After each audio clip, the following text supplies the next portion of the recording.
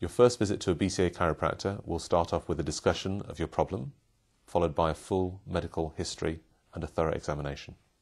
Your examination will be done in a comfortable and professional manner and will be confidential. The examination will consist of orthopedic and neurological testing, which basically tells us how your body, your joints, your muscles and nerves are working. We may also need to examine heart, lungs, abdomen, blood pressure if it's indicated. After your medical history and examination, which may have included x rays, your chiropractor will discuss their findings with you, give you a diagnosis, and the recommended way to proceed. Your chiropractor will discuss the types of treatment they will use with you. Also, they will discuss any potential side effects. Treatment normally consists of manipulation, but you will be getting supportive advice, lifestyle advice, ergonomic advice. These can be discussed with your chiropractor.